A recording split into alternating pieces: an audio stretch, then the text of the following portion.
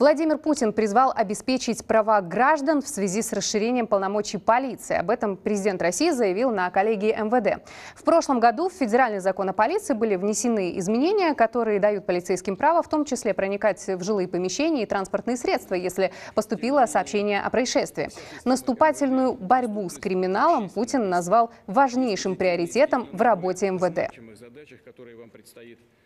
Безусловно, важнейший приоритет – активная наступательная борьба с криминалом. При этом, хочу это особо подчеркнуть, права и свободы граждан должны быть гарантированы. Вы знаете, что правозащитные организации обращали и обращают внимание на эти изменения в закон мы согласились с предложением министра, с вашими предложениями о том, что работа по горячим средам является чрезвычайно важной для раскрытия эффективной работы правоохранительной системы в целом. Но и опасения правозащитников не решены определенных оснований. Прошу это иметь в виду. Путин также потребовал незамедлительно высылать мигрантов за нарушение российских законов.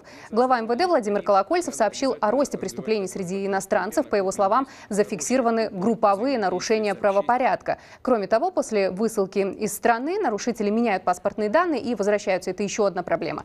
Путин заявил, что эффективная борьба с экстремизмом связана именно с миграционной сферой. Любые проявления экстремизма, нарушение правопорядка, незаконная трудовая деятельность служить основанием для быстрого принятия и исполнения решений о высылке таких людей за пределы России. В России периодически происходит столкновение с мигрантами. Недавний случай в Екатеринбурге. Несколько человек избили девушку и ее мать. Сегодня губернатор Свердловской области Евгений Куйвашев распорядился обеспечить безопасность жителей. В частности, вице-губернатору поручено встретиться со всеми диаспорами южан, это цитата, проанализировать правомерность их нахождения на территории страны и региона, а также предупредить о том, что такие вопросы будут достаточно жестко пресекаться. По словам губернатора, подобных уличных нападений в районе Новой сортировка насчитывается уже более 20. К нам присоединяется политик, публицист Максим Шевченко. Максим Леонардович, здравствуйте. Здравствуйте. Начнем с мигрантов, тем более, что эту тему обсуждали и в Госдуме накануне. Вице-премьер Марат Хуснулин выступил в очередной раз с заявлением, что стране нужно больше трудовых мигрантов и посоветовал лучше считать экономику законов. При этом есть ощущение, что обстановка ухудшается. Ну, во всяком случае, мы довольно часто слышим о столкновениях и массовых драках в районах, где живут приезжие, и о том, что местным жителям там не очень комфортно. Что происходит с миграционной политикой в России сейчас? Происходит абсолютная катастрофа, которая является следствием наглости, жадности, беспринципности и бесконтрольности наживы российского правящего э, олигархического капитализма. Сначала они сюда завозят миллионы людей без каких-либо э, законодательных норм, регулирующих этот завоз. А потом они начинают делать вид, что они тут борются с преступностью в среде мигрантов. Но, собственно говоря, смотрите, если сюда привозятся люди, которые не, э, как бы трудовые договора, которых не регистрируются. И Хуснулин открыто говорит, что это делать не надо, судя по всему, поскольку мигранты получают по каким-то причинам на 30% зарплаты меньше, а работают на 50% больше. То есть вице-премьер России публично в Госдуме признается в преступлении нарушения трудовых прав людей на основании того, что эти люди не граждане России. Да, но, кстати, более того, там, извините, что перебиваю, он более того же сказал, что если не будет мигрантов, то придется людям повышать зарплаты. Да, стало быть, они, стало быть, они и не регистрируются нигде. А, я, когда был членом Совета по межнациональным отношениям при президенте, а, когда мы в Уфе встречались э, с Путиным, тогда был еще Рамадановский, и обсуждалась эта тема миграционной политики. Я тогда выступил и предложил э, просто пакет мигранта, который включает в себя регистрируемый у государства договор с работодателем, с которым работодатель платит налоги и без которого человек просто не может работать, э, включает в себя билет туда-обратно в два конца с понятной датой приезда или прилета в Россию и отъезда или отлета. Обязательную медицинскую страховку. Мы видели, что когда был разгар ковида среди э, трудовых мигрантов в Москве, по крайней мере, я это знаю точно, да и в других регионах, был просто какой-то кошмар, чума, моровое поветрие, их никто не лечил по большому счету. Кроме этого, должно быть четко работодатель должен отвечать, причем по закону, э, статусом и штрафами за место, где проживает человек, которого он пригласил на работу, путь, снимает ли он квартиру или его обеспечивают этим работам. И венцом всего этого должна быть трудовая виза, которая выдается на основании предыдущих четырех документов. Договора, страховки, билета и понятной регистрации. Ничего этого нету. И не может быть, потому что Хуснулин открыто говорит, что наживо любой ценой за счет эксплуатации фактически штрейкбрехеров, которые отнимают у россиян рабочие места, это, а, как говорится, выгодно и это прибыльно. Но кому?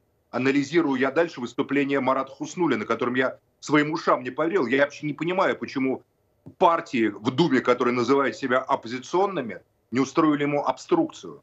Причина это могло быть только одно. Они, очевидно, а олигархи, входящие в эти так называемые оппозиционные фракции, очевидно, зарабатывают на эксплуатации труда мигрантов. Там, неважно, в Москве это или в других регионах. Потому что он сказал конкретно, говорит, нас э, должно быть как в Дубае. В Дубае миллион арабов, 8 миллионов трудовых мигрантов и 12 миллионов туристов. В Дубае живут прекрасно, 14% только от нефти, все остальное от денег.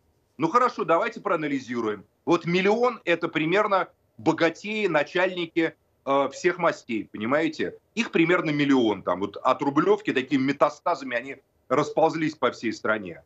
8 э, миллионов они уже привезли сюда трудовых мигрантов. Хуснулина уже, значит, 6, ему еще полтора-два надо. 12 миллионов, сейчас туристов нету, это же не нас считают туристами. Нас вообще не упоминают в этой схеме. А это, очевидно, китайцы. Когда границы откроются после ковида, они будут зарабатывать на китайских туристах. А что же делать остальным 139 миллионам россиян, которые в эту схему не попадают? Труд которых не рентабелен, то есть нам с вами. Нам, очевидно, надо подыхать. Вот это позиция правительства. Я хочу, чтобы этот человек ушел в отставку вместе со всем своим кабинетом. Такая политика социальная по отношению к своему народу в любой вменяемой стране названа была бы преступной. Это антинациональная и антисоциальная политика. Он выступает с такими заявлениями, и никто ему в лицо не скажет, как вы смеете это говорить гражданам России, что труд граждан России, видите ли, нерентабелен, поэтому будем заводить рабов, которые будем эксплуатировать, потому что нам плевать на граждан России, мы не обязаны их обеспечивать работу зарплата будет слишком высокая. Ну вот, кстати, от э, федеральной повестки, переходя к региональной, какую, на ваш взгляд, роль играет миграционный вопрос э, в политике регионов? В том смысле, что это ну, такая вполне благодатная тема для зарабатывания политических очков губернаторам, например, объявить о защите жителей от нарушителей, о сохранении их рабочих мест э, граждан России. Да, это ну, вот, абсолютно. Да. Вы не понимаете, как устроена современная политика им выставляют KPI. Каждый такой угу. скандал это понижает так называемый KPI, коэффициент эффективности губернатора, главы региона.